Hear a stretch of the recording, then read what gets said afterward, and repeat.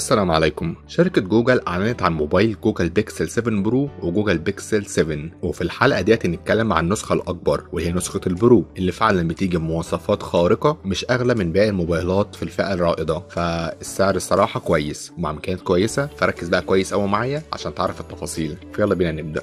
أول حاجة نبدأ بيها هي الخامات. الظهر بتاعه مصنوع من الإزاز مع frame من الالومنيوم وبيدعم تركيب شريحة اتصال واحدة وبيجي بوزن 212 جرام وبيجي على الظهر طبقه حماية من نوع Gorilla Glass Victus وبالنسبه لصوته الخارجي فالصوت هنا بيجي استريو واستغنى عن مدخل 3.5 وبيجي بمعيارية IP 68 يعني يقدر يقعد تحت المية لعمق متر ونص لمدة نص ساعة. أما بقى بالنسبة للشاشة فبتيجي من نوع LTPO AMOLED بمساحة 6.7 من 10 بوصة مع نسبة استحواذ 89% وبدقة 1440 في 3120 بكسل ومع كثافة بكسلات 512 بكسل لكل بوصة وبتدعم تقنية ال HDR 10 plus ومعاهم معدل تحديث عالي واللي هو ال 120 هرتز وكمان بتيجي بقوة إضاءة 1500 شمعة والبصمة بتيجي تحت الشاشة ومعاهم كمان تقنية Always on Display وبيجي عليها طبقة حماية من نوع Gorilla Glass Victus وبالنسبة لمواصفات الشاشة فديت شاشة ممتازة جدا. أنا مش شايف فيها أي عيوب نهائيا. كل حاجة فيها عالية وكمان شاشة متكاملة.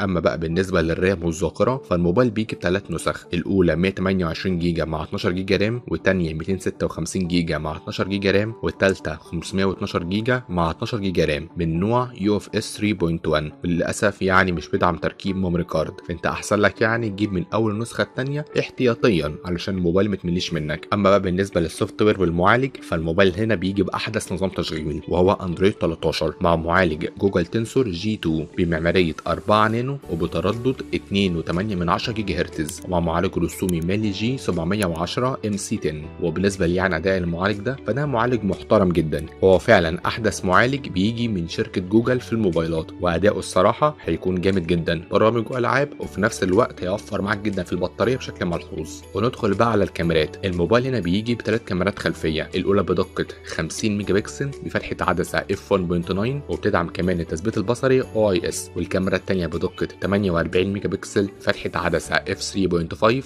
وديت كاميرا telephoto وبتدعم التثبيت البصري OIS والكاميرا التالتة بدقة 12 ميجا بكسل بفتحة عدسة f 2.2 وديت كاميرا ultra wide بتصور بزاوية 126 درجة وبيجي معاهم flash LED مزدوج وبيدعموا تقنية البانوراما DR يقدر يصور فيديو بدقة 4K بسرعة 60 frame وبدقة full HD بسرعة 240 frame وبالنسبة للكاميرا الأمامية فبتيجي بدقة 10 و8 من 10 ميجا بكسل وبفتحة عدسة f2.2 وبتدعم تقنية البانوراما وال HDR وتقدر تصور فيديو بدقة 4K بسرعة 60 frame. وبالنسبة يعني أداء وجودة الكاميرات ديت فأنا متوقع إنها تديك أفضل أداء كاميرات موجود في الفئة السعرية بتاعته. ممكن ما يكونش الأفضل 100% يعني بس هيكون من أفضل الموبايلات حرفيا. وما تنساش سعر الموبايل دوت أرخص من باقي أسعار الموبايلات الرائدة التانية فكأداء ما تقلقش منه من ناحية الكاميرات. فيعني كأداء كاميرات ما تقلقش. موبايلات جوجل بيكسل معروفة بقوه كاميرات عاملة إزاي. أما بقى بالنسبة لباقي التقنيات فالموبايل دوت بيدعم ال Wi-Fi version 6 E وبلوتوث من إصدار 5.2